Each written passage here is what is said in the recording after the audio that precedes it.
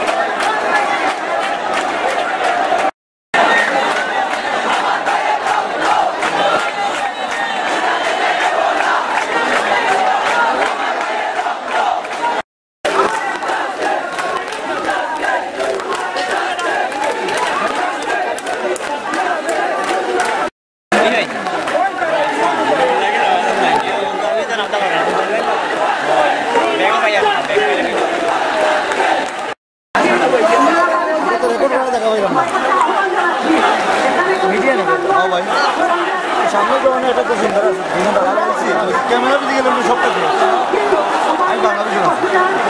আমি সবটা শেষ আমি বাংলাদেশে